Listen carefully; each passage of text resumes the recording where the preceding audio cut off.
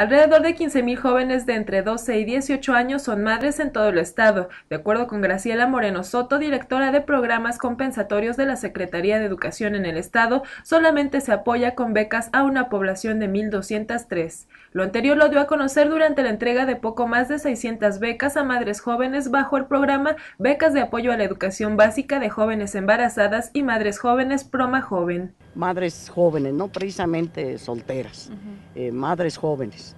Eh, tenemos una cantidad también de, de adolescentes embarazadas, pero la mayoría son madres jóvenes. El programa atiende a chicas entre 12 y 18 años que son madres y no han concluido su educación básica. las ayuda en, en, primer lugar con, con ese apoyo económico.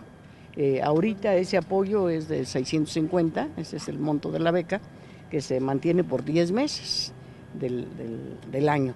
Eh, ese es lo eh, clave, digamos.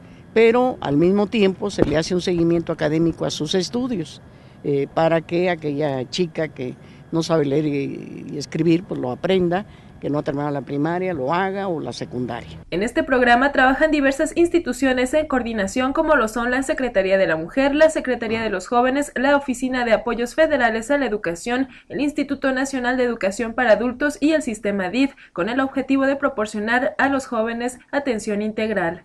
Con imágenes de Julio César Maicot, reportó para IMTV Violeta Gil.